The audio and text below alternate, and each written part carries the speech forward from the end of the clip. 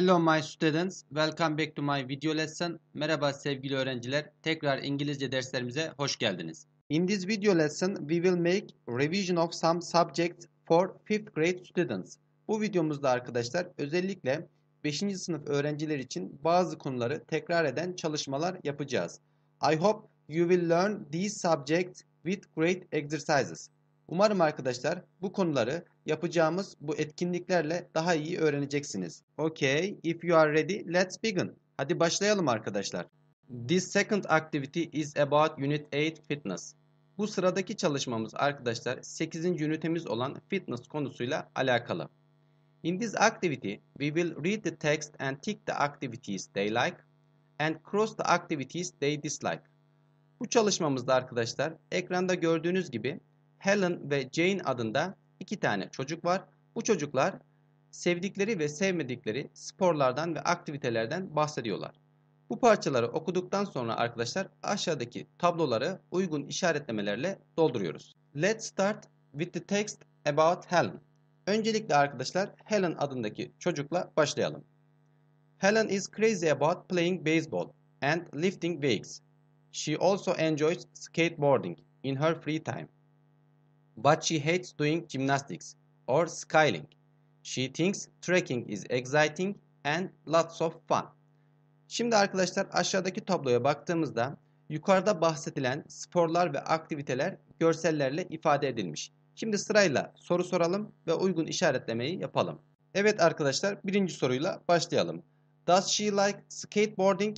Kaykay yapmayı seviyor mu? Helen adındaki bu çocuk kaykay yapmayı seviyor mu arkadaşlar? Baktığımızda she also enjoys skateboarding ifadesini görüyoruz. O yüzden yes she does yani yes she likes skateboarding şeklinde cevap vereceğiz ve tabii ki işaretlememiz ne olacak? Tick işaretini koyuyoruz. İkinci soruya bakalım arkadaşlar. Does she like lifting weight? Ağırlık kaldırmayı seviyor mu? Burada da arkadaşlar birinci cümleye baktığınızda Helen is crazy about playing baseball and lifting weight. Yani sevdiğini görüyoruz yes, she does şeklinde soruya cevap verebiliriz. İşaretlememiz ne olacak? Tabii ki tik işaretini koyuyoruz. Bir sonraki soruyu soralım arkadaşlar. Does she like doing gymnastics? Peki jimnastik yapmayı seviyor mu arkadaşlar? Baktığınızda she hates doing gymnastics. Yani sevmediğini, nefret ettiğini görüyoruz. O yüzden çarpı işaretini koyuyoruz. Bir sonraki soruyu soralım. Does she like skiing? Peki bisiklet sürmeyi seviyor mu arkadaşlar? Baktığınızda yine she hates doing gymnastics or skiing. Yani bisiklet sürmeyi sevmiyor. O yüzden arkadaşlar yine cross çarpı işaretini koyuyoruz. Evet bir başka soruyu soralım.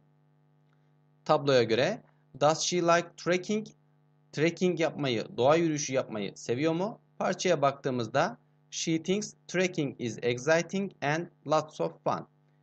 Buradaki kişi arkadaşlar Helen adındaki bu çocuk trekking yani doğa yürüyüşünü heyecan verici ve çok eğlenceli buluyor. O yüzden işaretlememiz ne olacak? Tabii ki tik işaretini koyuyoruz.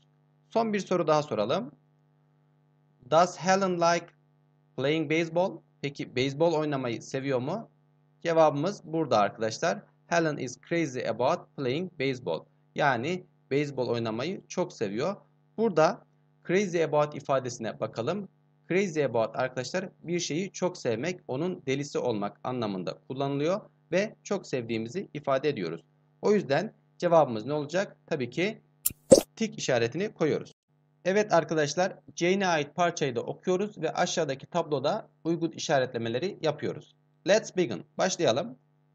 Jane does different kinds of sports because she wants to be fit and healthy.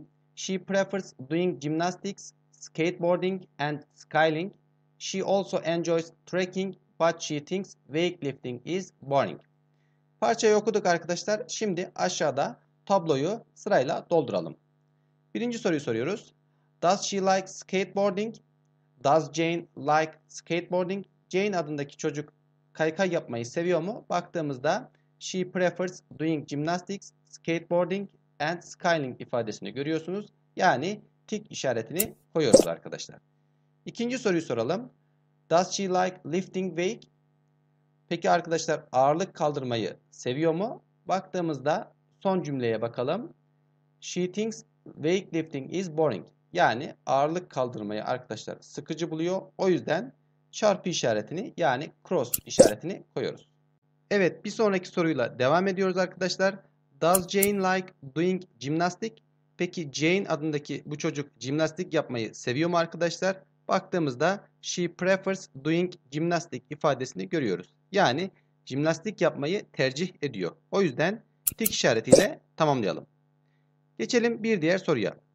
Does Jane like skyling? Peki bisiklet sürmeyi seviyor mu arkadaşlar? Yine buraya baktığımızda skyling ifadesini görüyoruz. Yine tercih ettiği sporlar arasında var. O yüzden buraya da arkadaşlar tik işaretiyle tamamlayalım.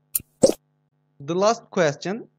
Does Jane like trekking? Peki Jane trekking yapmayı yani arkadaşlar doğa yürüyüşü yapmayı seviyor mu? Baktığımızda arkadaşlar she also enjoys trekking. Ayrıca doğa yürüyüşü yapmayı seviyor ifadesini görüyoruz. Burayı da arkadaşlar yine tik işaretiyle tamamlayalım. Bu şekilde arkadaşlar 5. sınıfın 7 ve 8. ünitelerine ait bazı konuları tekrar eden çalışmalar yapmış olduk. Thanks for watching this video. See you next time with more videos. I am your teacher to teach you English better. Goodbye.